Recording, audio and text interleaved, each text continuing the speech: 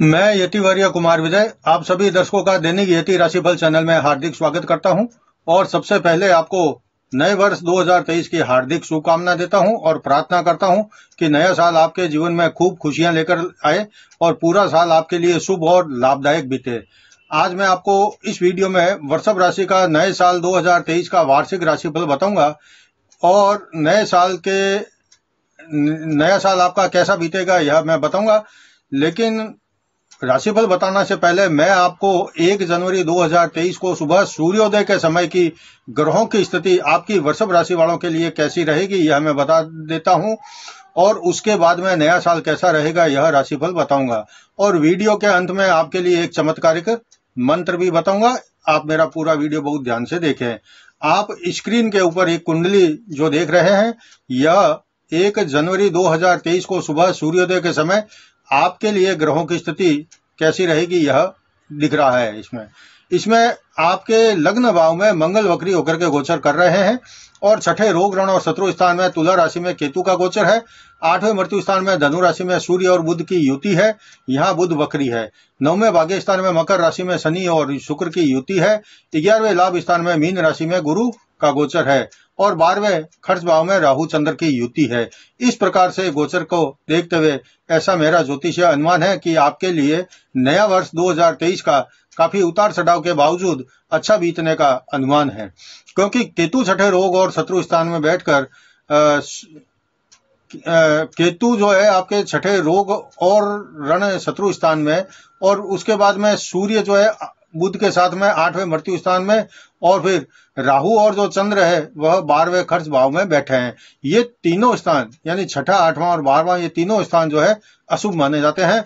और इस स्थान में बैठे शुभ ग्रह भी अपना पूरा शुभ फल नहीं दे पाते, या ऐसा कहें कि अशुभ स्थान में बैठे ग्रह जिस भाव के स्वामी होते हैं, उस भाव के शुभ फल में कमी कर देते हैं। इस साल में 17 जनवरी को शनिदेव आपके दसवें कर्म भाव में आ जाएँगे। और 22 अप्रैल को 22 अप्रैल 2023 को गुरु अपनी राशि बदलकर आपके बारहवें खर्च स्थान में आ जाएँगे। वर्ष के शुरू के पहले दिन सूर्योदय की कुंडली में आपने देखा कि मंगल का गोचर आपकी राशि में हो रहा है। इस साल में आपका भाग्य बहुत मज़बूत रहेगा। साल के शुरू में शनि आपके नौवें भाग्य स्थान में रहेंगे और 17 जनवरी को 17 जनवरी 2023 को आपके दसवें कर्म स्थान में आ जाएँगे। तो अचानक से आपके सभी रुके अटके काम बनने लगेंगे। व्यापार में, व्यवसाय में आपके तेज़ी आना शुरू हो जाएगी। नौकरी में है अगर आप तो आपको स्थान परिवर्तन और वेतन वृद्धि के योग भी बन जाएँगे। साथ में पदोन्नति का योग भी बनेगा। जो शनि के दसवें कर्म भाव में गोचर करने तक बने रहेंगे, साल के शुरू में 21 अप्रैल तक आपकी आर्थिक स्थिति काफ़ी अच्छी रहने की संभावना है। आय भी, आय के भी जो है नए रास्ते आपके लिए खुलेंगे। धन कमाने के अनेक अवसर आपके सामने रहेंगे। हालाँकि ये वर्ष आपके लिए मेहनत करवाने वाला रहेगा। और अगर मेहनत सही किया तो लाभ भी मिलेगा। स्वास्थ्य की दृष्टि से देखें तो साल के शुरू में, राशि का जो स्वामी शुक्र है, वह शनि के साथ मकर राशि में गोचर कर रहे हैं। फिर जब कुंभ राशि में प्रवेश करेंगे शनिदेव तो आपको सेहत से संबंधित कई प्रकार की परेशानियाँ हो सकती है, जिनको सर्दी, खांसी, जुकाम अक्सर रहता है। उनको फेफड़ों से और सांस से संबंधित परेशानी हो सकती है। मार्च के बाद में स्वास्थ्य में आपके सुधार आना शुरू हो जाएगा। खेल और सिनेमा से आय प्राप्त करने वाले या जुड़े हुए जो लोग हैं, अब इस साल में कई प्रकार के संघर्ष उनको करने पड़ेंगे और कड़ी मेहनत करने के बाद उनको सफलता मिलने का योग बनेगा। मेरा यह वीडियो जो है चंद्र राशि पर आधारित है, इसलिए आपकी जन्म कुंडली में जो आपकी जन्म की राशि है, उसी के अनुसार आप मेरे चैनल पर अपना वार्षिक राशिफल देखें। मैं इस वीडियो में वर्षभ राशि का, वार्षिक राशिफल बता रहा हूँ। इस वीडियो में आपके लिए आपका 2023 में कैरियर कैसा रहेगा व्यापार कैसा चलेगा आर्थिक स्थिति कैसी रहेगी परिवार में सुख कितना मिलेगा वैवाहिक सुख कैसा रहेगा संतान सुख कैसा रहेगा संपत्ति का लाभ कैसा रहेगा स्वास्थ्य कैसा रहेगा और साथ में आपके लिए आ, क्या शुभ रहेगा क्या अशुभ रहेगा इस साल में आप क्या करें और क्या न करें आदि मैं उपाय आदि बताऊँगा। इस वीडियो में मैं आपको वर्षभ राशि के पूरे साल की जानकारी दूँगा कि आपका यह साल कैसा बीतेगा। वीडियो के अंत में मैं वर्षभ राशि की जो महिलाएँ हैं, उनके लिए भी राशिफल बताऊँगा कि उनका यह नया साल 2023 का कैसा बीतेगा। आप मेरा पूरा वीडियो बहुत ध्यान से देखें। वीडियो के अंत में मैं एक चमत्कारिक मंत्र, महालक्ष्मी माता का भी बताऊँगा। और वीडियो अगर आपको देखने के बाद में पसंद आता है तो आप इसको लाइक करें और ज़्यादा से ज़्यादा इसको शेयर करें। वर्षभ राशि के मित्रों में, साथियों में, परिवार के लोगों में, ताकि वह भी अपना नए साल 2023 का जो है, हाल राशिफल का जान सके। मेरा जो फ़ोन नंबर है, आप यहाँ पर नीचे देख रहे हैं, nine four six two five seven five two nine one. यहाँ जो नीचे देख रहे हैं स्क्रीन के ऊपर, इस नंबर पर आप कब फ़ोन करें, यह टाइम टेबल भी यहाँ दिखाई दे रहा है। आप इस टाइम टेबल पर, यानी कि रविवार को केवल दिन में 10 बजे से 11 बजे के बीच में आप मेरे को फ़ोन करें। इसके अलावा ना करें, मैं थोड़ा बिज़ी रहता हूँ, आपसे बातचीत नहीं कर पाऊँगा। अब बढ़ते हैं आगे और देखते हैं कि आपके लिए नया वर्ष 2023 का कैसा बीतेगा? सबसे पहले बात करते हैं 2023 में आपका कैरियर कैसा रहेगा? यह 2023 का साल कैरियर की दृष्टि से देखें तो आपको अपने मेहनत और संघर्ष से अच्छा बनाना पड़ेगा या सुधारना पड़ेगा। 17 जनवरी को शनि कुंभ राशि में आ जाएँगे और अपनी तीसरी दृष्टि से आपके बारहवें खर्च भाव को देखेंगे। इसलिए आय से अधिक खर्च की स्थिति का निर्माण हो जाएगा और खर्च बढ़ेंगे तो खर्च के लिए अधिक आय पाने के लिए ज़्यादा मेहनत करनी पड़ेगी। और मार्केट में आप अगर अकेले व्यापारी तो है नहीं। मार्केट में भी आप कोई अकेले तो व्यापारी है नहीं कि सारे ग्राहक आपके पास आएँगे, वहाँ भी आपके तरह के ही बहुत सारे दूसरे छोटे बड़े व्यापारी होंगे तो उनसे भी आपको इस साल के अंदर कंपटीशन करना पड़ेगा। यानी कि इस साल में आपको खूब मेहनत से ही धन मिलेगा। अगर आप खेल, फ़िल्म एडवर्टाइजिंग प्रिंटिंग डिज़ाइनिंग चित्रकला, संगीत स्टूडियो के काम, कलाकारी ब्यूटी पार्लर इंटीरियर डेकोरेशन मनीहारी मैचिंग सेंटर आंगनबाड़ी है प्लास्टिक का सामान है या प्लास्टिक से संबंधित कोई वस्तु हार्डवेयर आदि के काम से अगर जुड़े हैं तो और आप आगे बढ़ने के जितने भी प्रयास करेंगे तो आपको कंपटीशन और टप से टप होता जाएगा। और उसके बाद में आपको जो है मेहनत से आपकी इस साल के अंत में आपका जो कैरियर का ग्राफ है, वह सुधरना शुरू होगा। या जैसा पहले था, उस कंडीशन में आ जाएगा। वैसे आपने जो अपने कैरियर का ग्राफ अब तक बनाया हुआ है वह डाउन नहीं जाएगा, भले ही तेज़ी से ऊपर ना चढ़े इस साल में, लेकिन जो सामान्य स्थिति है, वह तो कम से कम बनी रहेगी। या जैसा आपने आज दिन तक मेहनत करके बनाया, वैसा बना रहेगा। इसलिए आप इस साल खूब मेहनत करें। अगर आपको अपने कैरियर के ग्राफ को ऊपर ले जाना है तो और सफलता के शिखर तक पहुँचना है तो आपको आपकी इस साल में मेहनत आपको सफलता के शिखर तक ले जा सकती है। अब देखते हैं आर्थिक स्थिति। वर्ष 2023 के शुरू में आपके दूसरे धन और कुटुंब स्थान का स्वामी बुद्ध सूर्य के साथ में आठवें मृत्यु स्थान में गोचर कर रहे होंगे। इसलिए साल की शुरुआत में आपको कुछ आर्थिक परेशानियों का सामना करना पड़ेगा। हालाँकि जैसे जैसे बुद्ध आगे गोचर करेंगे वैसे वैसे आर्थिक स्थिति भी सुधरती चली जाएगी। लेकिन अगर इस साल में आपने अपने फालतू के खर्चों पर कंट्रोल नहीं रखा तो आय आपकी कम पड़ेगी और जरूरतें जो है वह पूरी करने के लिए कहीं से कर्जा आदि लेने की नौबत आ सकती है। वैसे अगर कोई नया इन्वेस्ट करने की अगर आप सोच रहे हैं तो सावधानी पूर्वक करना ठीक रहेगा और सुरक्षित सुरक्षित निवेश करने से ही आपको लाभ मिलेगा। गुरु के मेष राशि में और आपके बारहवें खर्च भाव में प्रवेश करने के बाद में गुरु की पांचवी दृष्टि है, सुख और माता स्थान में रहेगी, इसलिए आपके सुखों में वृद्धि होगी। लेकिन इसकी कीमत भी आपको चुकानी पड़ेगी, जो आपके लिए आर्थिक बोझ साबित हो सकती है। इसलिए इस साल में अपने आप को एक कुशल धन प्रबंधक बनाकर, आय और व्यय में बैलेंस बनाकर रखेंगे तो यह आपके लिए ठीक रहेगा। अब देखते हैं 2023 में आपके परिवार का सुख कैसा है? 2023 में शुरू में दूसरे धन और कुटुंब स्थान का स्वामी बुद्ध सूर्य के साथ में आठवें मृत्यु स्थान में गोचर कर रहे होंगे, इसलिए साल के शुरू में परिवार में आपस में कुछ निराशा से भरा माहौल रहने की संभावना है और खासकर आपको अधिक निराशा हो सकती है। आप परिवार के बीच में जब भी कोई बात करे या रखे तो ये ना समझे कि वो बात सब लोग आराम से मान जाएँगे। तो आपको थोड़ा वहाँ भी सबको समझाने के लिए मेहनत करनी पड़ेगी। मार्च से जून के बीच में परिवार में कोई शुभ मांगलिक या धार्मिक जो है कार्यक्रम संपन्न होने के योग है और यहाँ भी आपके खर्च की चिंता आपके लिए परेशानी बढ़ाने वाली रहेगी। माता का सुख अप्रैल मध्य से अच्छा रहेगा। पिता का साथ भी साल के शुरू से अच्छा और सहयोगात्मक बना रहेगा। भाई बहन से बहस नहीं करना है। और न ही उनके काम में रोक टोक करनी है। सब समझदार है। जो भी करेंगे परिवार के लिए अच्छा करेंगे। आप बिना टेंशन के आ, उनको जो काम कर रहे हैं करने दो। आपको जो काम करना है उनसे सलाह लेकर कर सकते हैं। अब देखते हैं 2023 में आपको वैवाहिक सुख कैसा रहेगा? या आप किसी से प्रेम प्यार करते हैं तो आपका प्रेम प्यार का संबंध कैसा रहेगा? नया साल 2023 का आपके वैवाहिक जीवन के लिए काफ़ी अच्छा रहने वाला है। सप्तम जीवन साथी स्थान का स्वामी मंगल साल के शुरू में आपके लग्न स्थान में रहेंगे। आप अपने जीवन साथी के साथ खूब प्यार करते हैं और अपने प्यार का प्रदर्शन भी समय समय पर करते रहते हैं और अपने जीवन साथी को अनेक अवसरों पर कोई ना कोई उपहार भी देते हैं और इस साल में आपको अपने जीवन साथी को इम्प्रेस करने के कई अवसर मिलेंगे।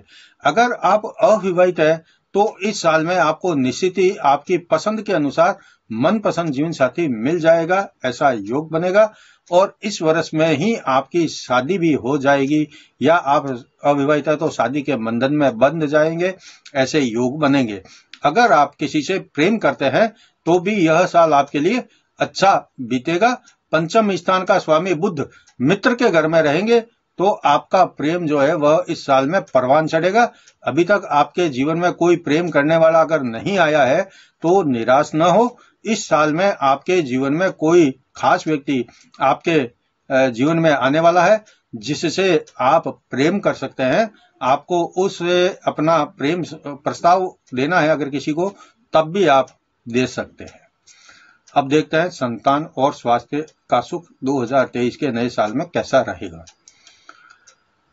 2023 का साल आपके लिए संतान से जो सुख है, उसके लिए बहुत अच्छा है। आपके संतान नहीं है और आप युवा जोड़े हैं या नव विवाहित है तो इस साल में संतान की प्राप्ति के अच्छे योग है और अगर आपकी संतान बड़ी है तो उसके रोज़गार की समस्या या शादी विवाह की समस्या का समाधान भी इस साल में आपके हो जाएगा और आप संतान की समस्याओं से मुक्त होकर बिल्कुल निश्चित हो जाएँगे। अगर बात करें इस साल में आपके स्वास्थ्य की तो यह साल आपके लिए सर्दी, जुकाम, कफ, सांस लेने की तकलीफ़ या फिर दमा आदि जैसी परेशानियों वाला थोड़ा बहुत हो सकता है। हालाँकि ऐसा नहीं है कि ये सब जो बीमारियाँ मैंने गिनाई, यह सब आपको होगी। इसमें से कोई छोटी बड़ी एक आदि बीमारी समय के अनुसार आपको परेशान कर सकती है। और इसका आप अगर इलाज कराते रहे तो जल्दी ही ठीक भी हो जाएँगे। फिर भी आप इस साल में ठंडी वस्तुओं का सेवन ना करें और बासी ठंडी बासी चीज़ों को ना खाएँ। ठंडे जो पेय पदार्थ होते हैं, उन पेय पदार्थों को भी आप ना पिए, क्योंकि यह इस साल में आपके लिए अच्छा नहीं रहने वाला है। अब मैं आपको वृषभ राशि की जो महिलाएँ हैं, उनके लिए बताता हूँ कि 2023 का साल उनका कैसा बीतेगा। आप वृषभ राशि की महिला है, आपका जो स्वभाव है, काफ़ी विनम्र और हंसमुख होता है। आप अपने सर्कल में काफ़ी लोकप्रिय भी होती है और बहुत जल्दी सबके साथ में घुलने मिलने वाले होती है। पराय पराय हर महफिल में आप दूसरे लोगों का जो ध्यान है, आप अपनी तरफ़ आकर्षित करने में कामयाब हो जाती है और लोग आपकी प्रशंसा भी करते हैं। इस साल में आप अपने आप को मेंटेन करने में मेंटेन करने पर या मेंटेन रखने पर बहुत ज़्यादा ध्यान देगी। सजना सवरना आपकी रुचि में शामिल रहेगा। खास करके इस साल आप अपनी सेहत पर विशेष ध्यान दें, क्योंकि सेहत का मामला जो है थोड़ा कमज़ोर लग रहा है। अगर आप लापरवाह रही तो कोई रोग आपको घेर सकता है, जिसके कारण आपको कमज़ोरी महसूस हो सकती है। अगर आप व्यापार से किसी प्रकार के बिज़नेस से जुड़ी है तो इस साल में थोड़ा संघर्ष करके आप सफल हो सकेगी। आपको अपने व्यापार या बिज़नेस को बढ़ाने के लिए धन की ज़रूरत पड़ेगी, और धन की व्यवस्था करना आपके लिए बहुत मुश्किल काम हो सकता है। वैसे आप designing beauty parlour clerk film studio संगीत आदि अनेक क्षेत्रों में सफल हो सकती है। बस आप मेहनत जी लगाकर करें। आपका पारिवारिक जो जीवन है, वह सुखद रहेगा। भाई बहनों का साथ और सहयोग भी मिलेगा। अगर आप विवाहित है तो पति के प्रति आप हमेशा समर्पित भाव से व्यवहार करेगी और आपके जो पति है उनको भी आप थोड़ा बोल मतलब इच्छा के अनुसार, जैसे मान लो कहीं घूमने की उनकी इच्छा है तो आप उनके साथ हाँ करें, चले जाएँ। ऐसा नहीं कि भाई आप कहते काम है, ये नहीं।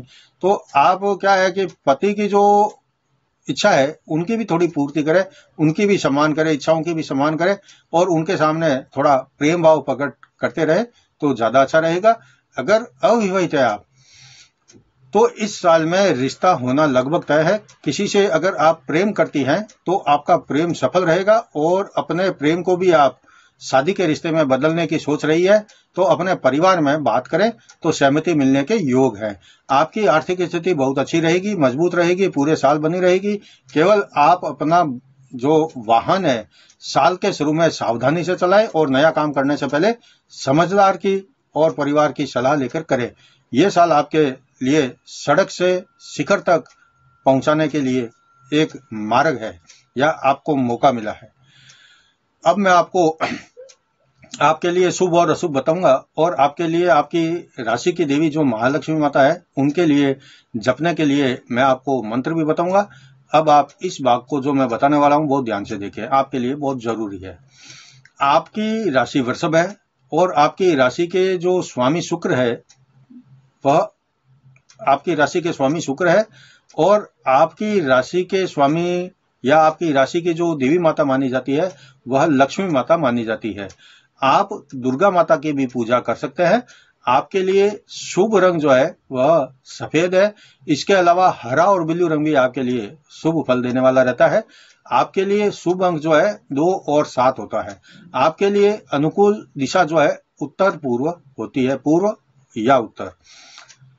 शुभ धातुओं में आपके लोहा है, स्फटिक है, शीशा है, ये तीन प्रकार के धातु है, यह आपके लिए अति शुभ होते हैं। और अगर आप नग नगीना पहनना चाहते हैं तो आपकी राशि का जो नग होता है, वह हीरा होता है, वह आप पहन सकते हैं। हीरे के अलावा पन्ना और नीलम भी आप पहन सकती, पहन सकते हैं।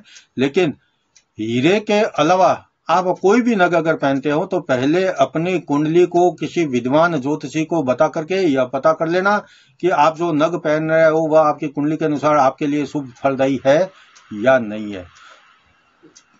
आपके लिए शुक्रवार का दिन हमेशा शुभ रहता है, बुधवार का दिन भी हमेशा शुभ रहता है, और शनिवार का दिन भी आपके लिए शुभ ही रहता है।